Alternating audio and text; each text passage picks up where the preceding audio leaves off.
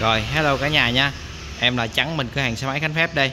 Thì à, cửa hàng em à, tọa lạc tại số 1027 Mạc Cũ Phường Vĩnh Quang thành phố Gạch Giá tỉnh Kiên Giang nha cả nhà.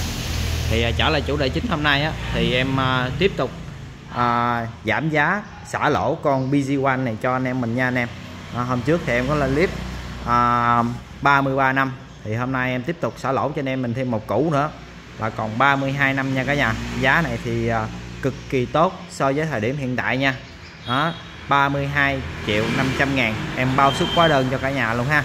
Vậy à, mình à, ra tên. Đó xe này thì mới 100 phần trăm thôi.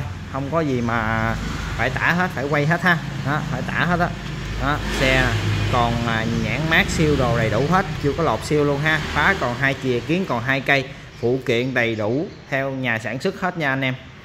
Con này thì à, lúc trước á sếp em cũng à, thấy nó hot quá chia của anh em ta. Lúc đó là hãng hết đồ chưa có đâu nha anh em. Lúc đó hãng hết mới ra đồ đó. Lúc mà Yamaha công bố đó, lúc là hãng hết chưa có đâu. Đó. Rồi uh, ship em thấy hot quá. Mới chia của anh em ta là với giá 37 năm. Đó. Về bán 38 triệu. Chủ yếu là lấy được tương tác với anh em mình thôi. Đó. Nhưng mà ông bà xưa ta nói đúng ha. Ăn theo phở mà ở theo thời đó tùy thời điểm thôi. Như bây giờ thời điểm xe sụt thì bên em sẽ chấp nhận lỗ sụt cho anh em mình để uh, phù hợp với cái thời điểm hiện tại để anh em mình mà uh, xài xe ha. Đó, xe thị trường xuống thì chấp nhận phải bán lỗ thôi. Đó, đầy đủ phụ kiện theo xe hết nha anh em. Con này xuất xưởng đời 2023 đó, xuất xưởng đời 2023 với cái màu đen nhám ha. Màu đen nhám thì em thấy rất là đẹp luôn. Nhìn nó ngầu. Đó 2023 ha trước sau vỏ cũng đều theo xe hết. Đó niền Goshi niền Goshi ha. Bây giờ Yamaha họ xài niền Goshi nè. Đó, cái chiều cao gầm của cái xe này ha rất là cao luôn.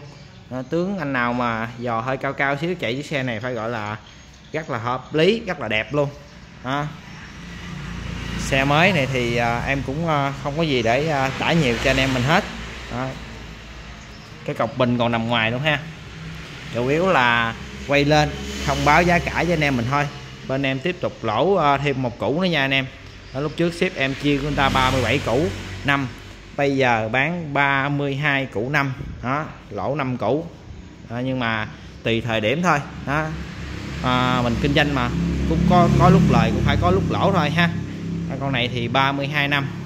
Đó hôm nay em thông báo đến anh em mình ha. À, giá này thì cũng ờ, cực kỳ tốt để mình ờ, sử dụng một con ờ, uh, BZ1 như thế này ha.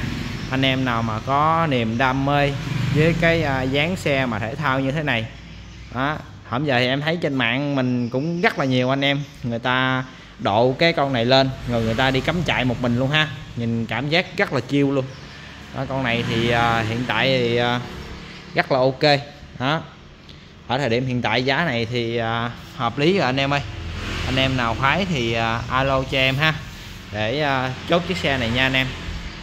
Rồi cảm ơn uh, anh em đã theo dõi uh, video ha. Chúc anh em mình uh, thật nhiều sức khỏe. Cảm ơn anh em mình rất là nhiều.